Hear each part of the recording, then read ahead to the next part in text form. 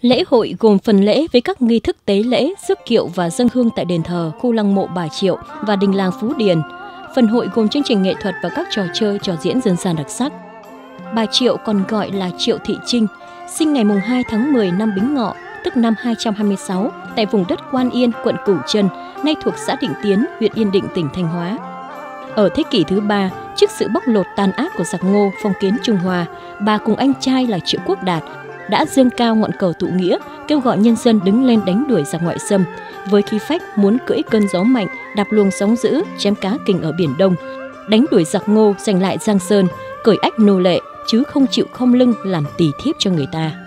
Ngày 22 tháng 2 năm Mậu Thìn, tức năm 248, trong một cuộc giao tranh ác liệt, bà Triệu đã anh dũng hy sinh. Ghi nhớ công đức to lớn của bà Triệu với đất nước, nhân dân trong vùng đã lập đền thờ bà tại xã Triệu Lộc, huyện Hậu Lộc đời đời hương khói. Lễ kỷ niệm 1770 năm ngày mất anh hùng dân tộc Triệu Thị Trinh và lễ hội bài Triệu năm 2018 nhằm tôn vinh công lao to lớn của bà đối với dân tộc, đồng thời giới thiệu quảng bá những giá trị văn hóa, kiến trúc tiêu biểu độc đáo của di tích lịch sử đền Bà Triệu và những tiềm năng du lịch của tỉnh Thanh Hóa với bạn bè trong nước và quốc tế.